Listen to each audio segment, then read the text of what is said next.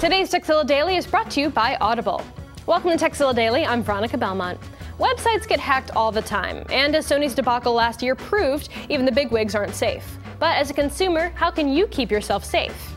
One of the first steps is to be aware if your account info has been leaked, and that's what Hack Notifier aims to do. Just visit hacknotifier.com, enter in your email address, and it'll compare it against a database of leaked accounts to see if yours matches. If it does, it'll tell you which account your email was linked to, and even provide a link to more info about that particular attack.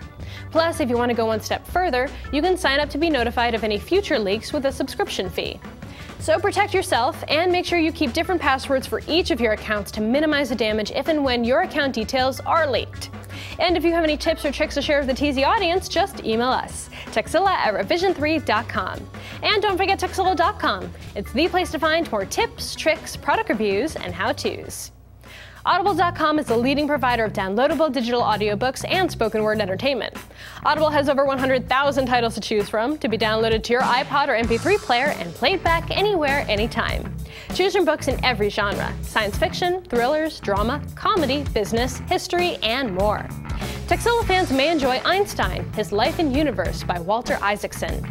If you enjoyed his recent Steve Jobs biography, check out his bio on Albert Einstein, which looks into the mind of one of the greatest geniuses in history. Go to audiblepodcast.com slash Tekzilla to get a free audiobook download of your choice when you sign up today.